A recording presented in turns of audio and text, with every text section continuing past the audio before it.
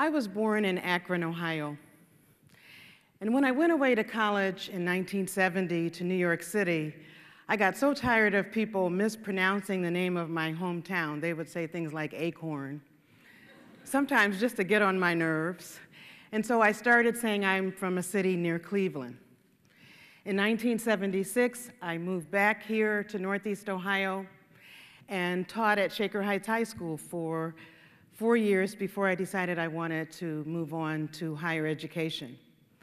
In 1987, I earned a PhD in English from Case Western Reserve University, studying Toni Morrison and other American writers and doing one of the first cross-cultural studies on Toni Morrison. I later moved on after working as a professor to become an associate provost, and then I was uh, provost at a historically black college for women in Greensboro, North Carolina. Shortly after that, President Barbara Snyder gave me the opportunity to be the first uh, Vice President for Inclusion, Diversity, and Equal Opportunity here at Case Western Reserve University. I was excited about coming back home and glad to be back here because I had already been reading the alumni information and had been learning how wonderful a job she was doing. I also appreciated the fact that she understood that diversity leadership starts at the top Diversity is a core value in our university um, documents and mission statement, and we were putting that into action by selecting someone to head that office. We have been doing amazing things at Case Western Reserve University, not the least of which this past year we brought in our largest, most diverse, most academically accomplished class. We have a diversity strategic action plan, and we are in the process of internationalizing our campus and putting more focus on internationalization than ever before. Our faculty, students, and staff are doing amazing things, and our alumni are working in this city, in this region, in the nation, and around the world.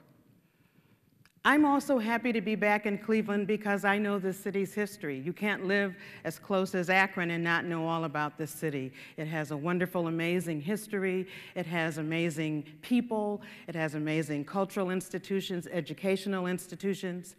And when I came back here, I was amazed that our students were doing internships, service learning projects all over the city, very engaged in this city. We just heard the mayor say at his State of the City address that this city could go either direction. It is yet again poised for greatness. I believe that, and many other people believe that. At the same time, it could go either way, as the mayor said. And I believe one of the reasons it could go either way is how we deal with diversity. This is a very diverse city. We know um, that there are diverse ethnic neighborhoods, traditions here, and we also know that people are waiting and hoping to be included in all the good prosperity that is yet to come and that we are experiencing right now. So I want to talk for a few minutes about diversity in some other ways. On one hand, there are people who say, well, there's a lot of diversity stuff going on. It's going on at Case Western, it's going on in the city. I just came back from the National Association of Diversity Officers in Higher Education, where those of us who are chief diversity officers get together. We belong at Case Western Reserve University to the Greater Cleveland Partnership. The Commission on Economic Inclusion has celebrated us for our work. We've gotten national awards already for our work in diversity. And there are some people that says there's a lot going on, we're done already. There are some people who have even had the nerve to say we are in a post-racial society because President Barack Obama is the president.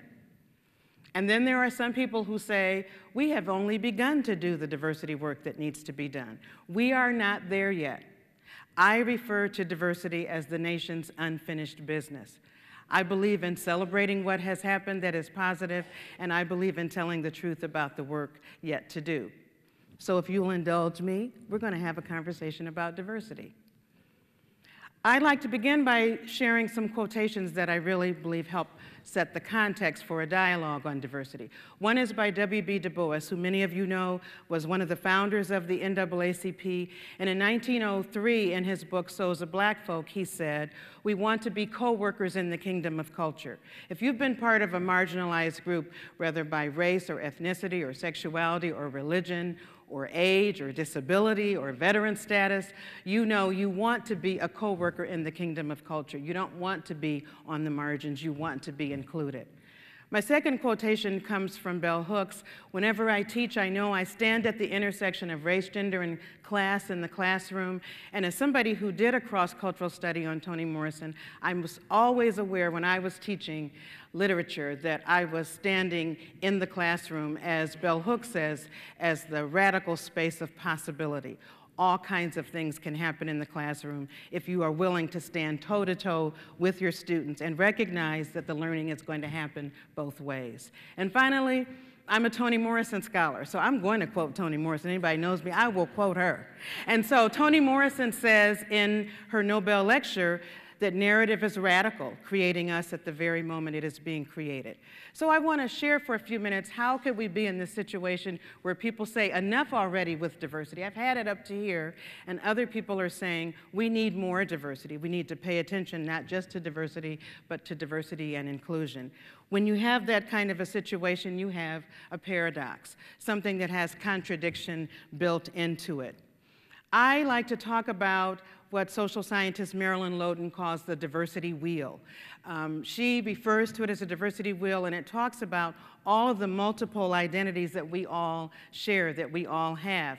She talks about race and gender and sexual orientation and age. You see that in the circle. There's also other elements of our identity like religion, our education, um, our geographical location. And then there are organizations, where we're, where we're located in the organizations in which we work, in which we worship, in which we lead, whatever our roles are, what our status is in those organizations.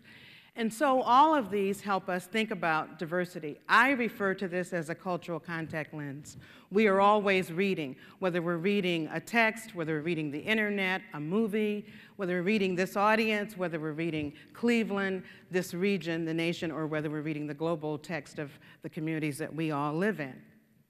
So I want to talk for a few minutes about how this paradox shows up. And I want to begin by telling you a few stories. I'm a storyteller also. So um, this first story is about teaching my favorite Toni Morrison short story. The short story is called Recitatif. It's about these two eight-year-old girls who end up in an orphanage, not because they are actually orphans, but because their mothers have been deemed unfit by the state. And so these two girls are in the room together, and we hear the thoughts of one girl. She says, my mother would have a fit if she knew I were sharing a room with someone of your race. My mother believes your race smells funny and your hair smells funny. So we watch these two girls go through school, uh, go through the orphanage life rather, and we watch them become mothers. At one point, they're on either side of a 1950s desegregation march. Later, we meet them, and one has um, become fairly well off, and the other works at a Howard Johnson's. And they're having a conversation, and they look at each other and they say, Was Maggie pushed or did she fall? As adult women, years later, they're remembering when they were in the orphanage, the disabled woman who was deaf and mute ended up on the floor, and they simply laughed with the other girls. So, as adult women, they look at each other and they're trying to remember what happened. Whenever I teach this story, I love the way my students have at it. They try to figure out which girl was black and which girl was white, and the class discussion is always back and forth. They believe they are taking clues out of the story to decide which girl is black and which one is white. So I love the fact that one year when I was teaching this story, a white gentleman raised his hand and said, Dr. Mobley, it is not about which girl is black and which girl is white. It is about the fact that those two girls saw that woman on the floor. They didn't ask her, was she hurt? They didn't go help her. They simply laughed with the other girls. I said, Thank you, my brother. You are absolutely correct. There is a moral, ethical crisis smack dab in the middle of that story. Thank you for noticing. So that kind of changed the way the lecture started going, and the students started wanting to discuss that part of the story. And they started putting up their bags together at the end of the class, and we're getting ready to go. And this gentleman walks up to me and he says, Dr.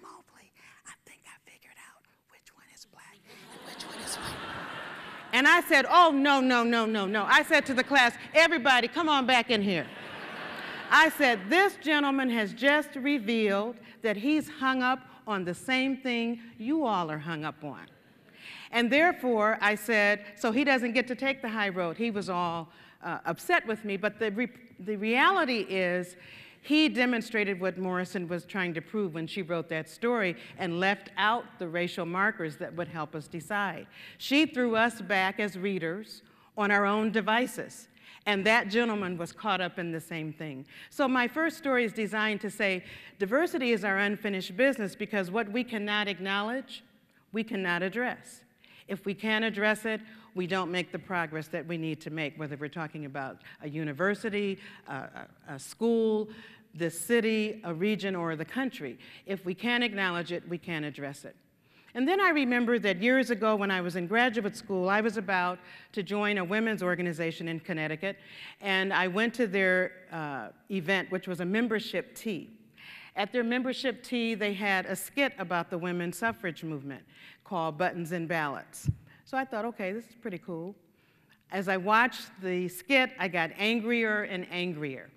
There was no reference to women of color. And so I decided to write them. I said, you know what? I was about to join your organization, but your omission, your exclusion of women of color who were part of the women's suffrage movement has made me change my mind. You could have included Sojourner Truth. You could have included Ida B. Wells. You could have included Mary Church Terrell. You could have included the women of Delta Sigma Theta Incorporated. But since you did not, I'm really not interested. Much to my surprise, the women of that organization wrote me. They said, You're absolutely right. We are going to edit the performance before it goes back on the road. Although I never saw it, I appreciated that that example of my civic engagement did make a difference. They both demonstrated what had actually happened. Often black women and women of color were excluded from the suffrage movement. That did not deny the fact that they were part of it. And so it exemplifies my next point, and that is that what we cannot acknowledge, we sometimes cannot address, and we have to acknowledge our blind spots. They were doing good gender diversity, but they were completely um, unaware that their racial diversity was damaging the product that they had produced for, our, for stage. And then I remember what it was like to go away to college. I went away to college, as I said a few minutes ago, in 1970. That was the convergence of three movements the Black Power movement, the women's movement, and the anti war, anti Vietnam War movement. And I think my mother had seen so many people go away to college and end up on the six o'clock news that when it was time for me to decide where I would live, my offer letter from this very prestigious women's college in New York said that I could either live on the integrated floor, the fifth floor, or I could live on the seventh floor. So trying to be obedient and thinking maybe my mother was right, given who I am as a person, maybe I would have ended up on the six o'clock news, I decided to live on the fifth floor. But I felt so alienated, so marginalized, so unincluded and unengaged that I said to my mom the second year, I'm sorry, I'm going up on the black floor. That decision made all the difference in the world. I think it accounts for why I graduated on the Dean's List and with honors. It's an example of what corporations, even around this city, know, and that is that you need affinity groups and employee resource groups often to give people a sense of belonging. Everybody doesn't want them or need them, but it's important to have them to give a sense of belonging, and it encourages a way to be competitive. We have them at the university schools around the country, have them for Asian students, LGBT students, veteran students. I recently recommended one for caregivers at the university. And so it's an example of a best practice in diversity work. I'm in diversity work because I know what I learned from my parents, to whom much is given, much is required. And so I'm part of a legacy of diversity work. In 1963, my parents were part of the March on Washington. They left with the Akron chapter of the NAACP for Washington, D.C., where they actually heard Dr. King give the I Have a Dream speech. I remember being in my grandfather's house, watching the monitor, looking for my parents in that big throng of people. But the point is that I learned from them that you have to give back that diversity matters. I believe this city is going to thrive if, as the prosperity goes down the road, that there are people at the table, that, that as we look at boards, as we look at senior leadership teams, as we look at decisions, people are included. I think the mayor is right.